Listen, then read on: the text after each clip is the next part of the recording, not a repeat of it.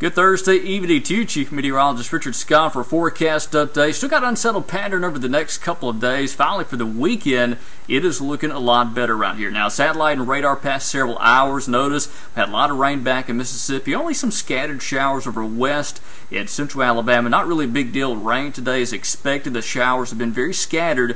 We got an upper level low to the west of Alabama over the state of Arkansas.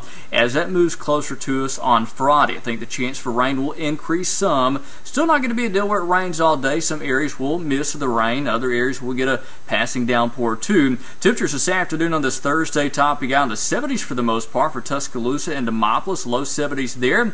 But thanks to Futurecast, you'll see what's going to happen through the day tomorrow. Starting tomorrow morning, a few showers around over West Alabama as we go through the evening hours, pretty much same deal. Showers will be out there across parts of the state. Not going to rain all day, but understand there will be some showers around. So if you're going to be outdoors on Friday, best word of advice take the umbrella to be safe. Now, some cloud cover around through early on Saturday. That should clear out just after lunch. So we're looking at a nice A day in Tuscaloosa on Saturday. Temperatures topping out in the low 70s, then upper 70s on Sunday. Look at next week, low 80s on Monday, Tuesday, and Wednesday, even on Thursday. No organized rain chance for Sunday through Wednesday.